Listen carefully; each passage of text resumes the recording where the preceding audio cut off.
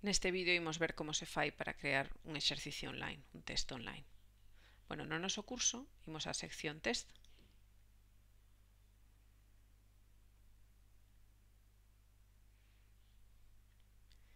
E aquí se é a primeira vez que, que entramos, non teremos ningún exercicio feito, temos unha serie de opcións aquí. Esta que temos aquí que é crear novo exercicio, pero bueno, temos aquí tamén, como non temos ningún, podemos darlle aquí no medio. Ben, isto é como se fora a plantilla o exame, non digamos que o papel que logo vai a conter as, as preguntas.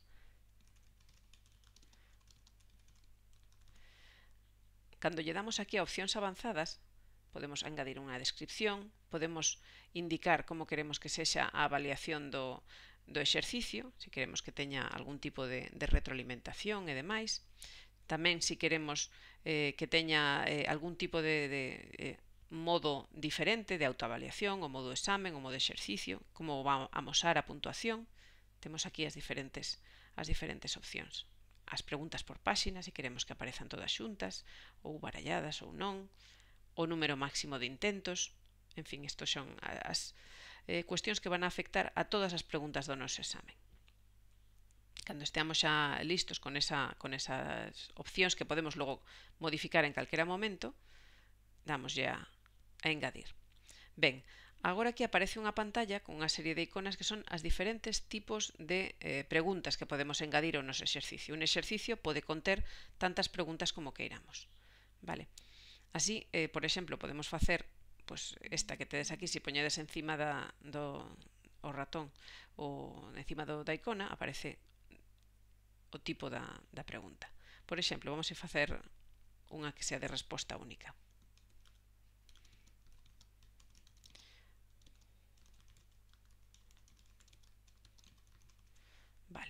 que temos aquí, por exemplo, esta que temos de resposta única, por defecto, pois temos catro opcións que podemos pedir máis ou menos, como todo.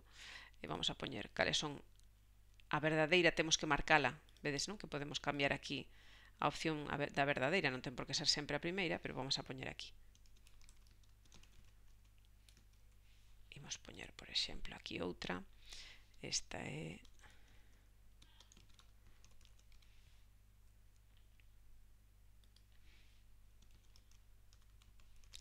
En fin, poderíamos poñer as que, as que queiramos. Si nos sobran, por exemplo, neste caso sobrame unha, pois quitamos unha resposta para que non haxa tantas opcións, non? Ahora vedes que temos tres.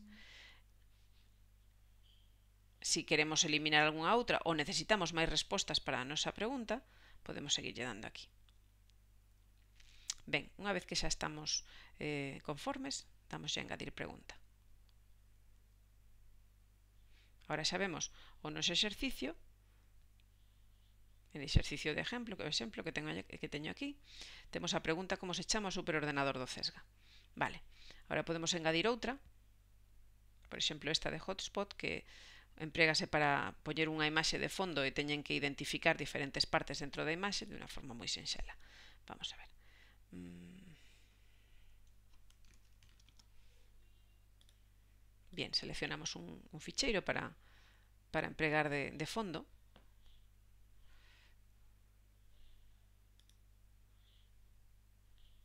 E damos ya ir a pregunta.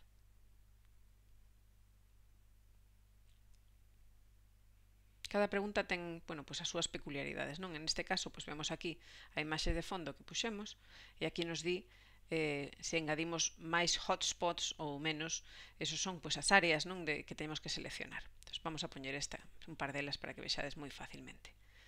Poñemos aquí o primeiro que queremos que identifiquen, este caso cabeza, e aquí abaixo nos pon que vamos a marcala con un cuadrado rectángulo eh, azul, vale, pues marcamos así, onde queremos que cando marquen este ben. Moi ben. E agora engadimos outro para que tamén señalen outro, outra área exemplo, pés. Vale? E os pés, pois, xa vedes que cambia o cor, o cor eh, aquí abaixo e poñemos aquí que os pés os indique aquí. Moi ben, poderíamos seguir eh, indicando diferentes, diferentes zonas dentro da nosa imaxe. Poderíamos tamén cambiar o formato non de esa selección para que se axuste máis o, o tipo de dibuixo que queremos, unha cousa máis complexa, un polígono ou se queredes unha elipse. E unha vez que teñamos xa todos todas as áreas seleccionadas, damoslle a engadir pregunta. Bueno, e volvemos ao noso exame, ao noso exercicio, que ahora xa ten dúas preguntas. Así poderíamos seguir eh, todo o que necesitemos. Podemos, como vedes, ¿no? recolocar estas, estas eh, preguntas de arriba abaixo e demais. Eh, podemos velas así se pulsamos nelas para que vexamos un pouco a pinta que teñen así de forma rápida. E eh, seguiríamos así. Si queremos ver o exame eh, tal como queda, podemos facer aquí en vista preliminar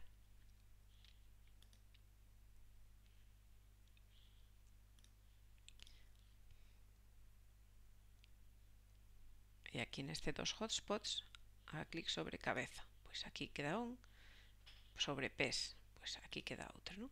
este defeito pois pode ser recolocar xa vedes e daríamos ya o fin de exame bueno, neste caso pois é unha proba que non ten moito sentido, pero eh, vedes aquí que xa, xa ten un pouco, como teño posto en modo eh, autoavaliación, pois xa me pon toda a información. Bueno, vemos aquí en exercicios logo como, como queda. Xa vedes que ten aquí, ten un número de preguntas. Si queremos modificar calquera cousa dentro do noso exercicio, podemos editalo, podemos configurar, se lembrades así ao principio, como eran as opcións avanzadas esas que, que poñamos aí ao principio en editar nos vai a deixar poñer máis preguntas, eh, podemos ir continuando con o noso exercicio e reutilizar esas preguntas que fagamos para, para outro mesmo. Tamén unha vez que os eh, estudiantes empecen a, a cubrilo, temos a posibilidade de ver eh, cales foron os seus resultados eh, cando, cando tentaron este exercicio. Non? Vemos aí o perfil, cando o fixo, en fin, canto, canto, cando comezou, cando rematou e podemos logo ter diferentes opcións de exportación. Nada máis. Logo, se queredes ter máis detalles sobre este tipo de exercicio, xa vos poñemos abaixo unha ligazón para ter acceso pois, a, ao manual eh, completo, onde tedes información de todos os tipos de preguntas, como reutilizalas, como importar e demais.